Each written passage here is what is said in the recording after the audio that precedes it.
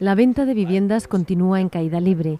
En los nueve primeros meses del año marcó 225.297 operaciones, lo que supone un descenso del 6,8% respecto al mismo periodo de 2011, según los datos difundidos por el Ministerio de Fomento.